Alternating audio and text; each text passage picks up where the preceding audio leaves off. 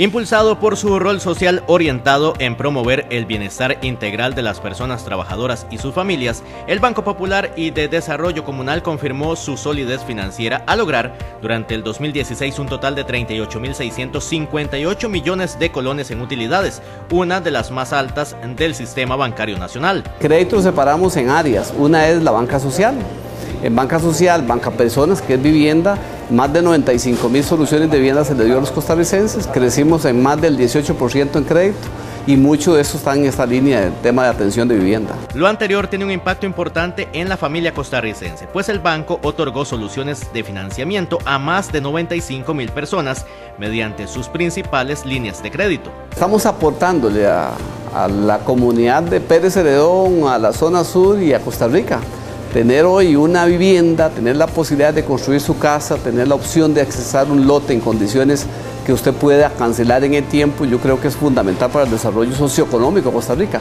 Y eso el Banco Popular es un ente más y, y orgulloso, por supuesto, de ser parte de este bello país. Utilidades con un incremento del 11.52% con relación al año tras anterior. 38.600 millones. Eh, las utilidades 2016, un 11% promedio eh, aquí lo importante no es el número, digamos, que sean 40, 50 mil, sino para dónde van esas utilidades. Somos prácticamente el único banco en, este país que, que tenemos muy claro para dónde van las utilidades. Tienen destinos ya específicos, ya sabemos para quién y a quién vamos a favorecer. Los resultados del banco tienen un importante impacto social, pues la entidad destina un 25% de sus ganancias anuales a la conformación de fondos especiales y fondos sociales. El 15% de esas utilidades, vamos hablando arriba de los 4 mil millones, van para fondos especiales fondos que se destinan en condiciones diferenciadas para las clases que tienen obviamente mayores problemas para accesar un crédito. Es un fondo especial. Ese es un destino. El otro gran destino, cada vez que usted ve que ocurre un problema como el que vimos hace poco en Upala y todo el país, que afectó el tema de la, del huracán Otto, ahí nosotros destinamos este, al Fondo de Emergencia Nacional el 5%. Estamos hablando que de 3 mil millones eh, van destinados a apoyar todas estas condiciones en, un momento determinado en el país. Eso nos, siente, nos, nos hace sentir muy orgullosos. Se ha logrado apoyar a más de 704 mujeres jefas de su negocio con créditos que suman más de 18.635 millones de colones.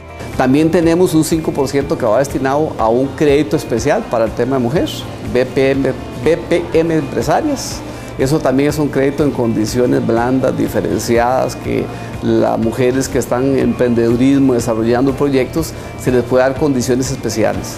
Y además también dentro del destino de los recursos de las utilidades se le genera para eh, lo que tiene que ver con eh, fondo de garantías, que llamamos eh, FODEMIPIMES, que ahí se destina otro 5%, que es un poco tratar de que aquellas microempresas o pequeñas empresas que no tienen garantía, el mismo banco se convierte en el garante a través de estos recursos. Y por supuesto cumplimos con lo que la ley nos estipula. Al mismo tiempo, la entidad ha reforzado sus esfuerzos y acciones para impulsar la sana costumbre del ahorro entre la población. ¿Qué hago yo para poder generar los recursos suficientes para poder hacer la inversión? Bueno, eso se llama en términos generales ahorro.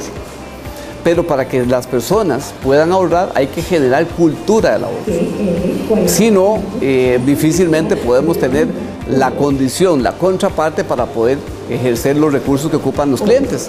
El crédito sale por un lado, pero por otro lado tiene que entrar el ahorro.